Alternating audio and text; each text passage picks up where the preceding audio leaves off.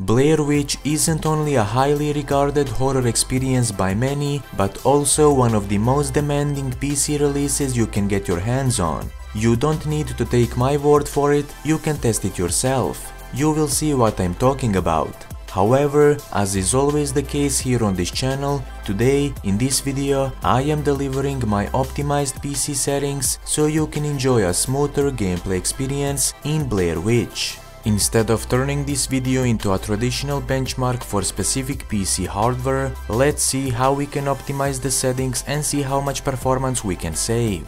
Before we proceed with the optimization process, uh, download and install uh, LowSpecs Experience. The download link for LowSpecs Experience is available in the video description Low Specs Experience is a PC video game optimization solution that I developed uh, that allows you to optimize your favorite PC games for maximum performance. So first of all, start the installation process for the Low Specs Experience. Once the installation is complete, start it from the newly created desktop shortcut.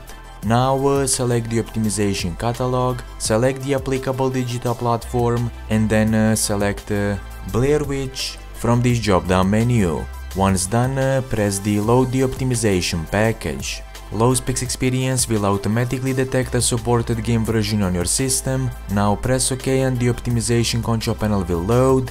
Once the optimization control panel has loaded, select the desired optimization presets and the rendering resolution for the game. Feel free to experiment with the optimization presets and rendering resolution to see what works best for your system.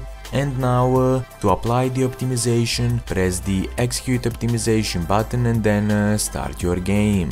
Also, if you are unsatisfied with what you see, you can easily remove the optimization effects. That will do it for this video. If you found this video helpful, be sure to like and subscribe. Until next time, happy gaming!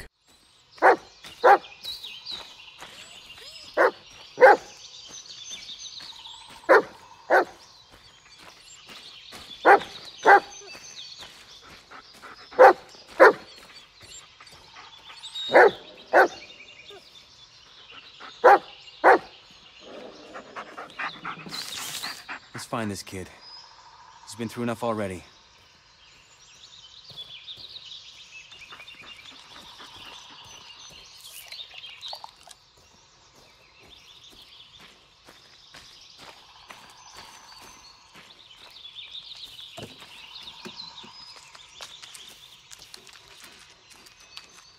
Can't say I blame them.